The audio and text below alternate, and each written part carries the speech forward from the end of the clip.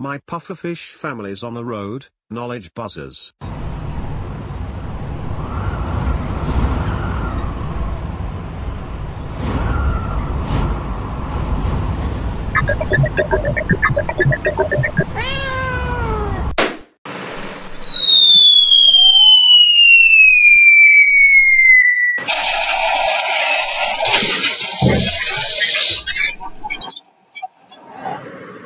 Attention everyone.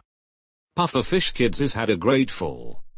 And starts on 5th to 12th of August 2020 Pufferfish on a road is very dangerous.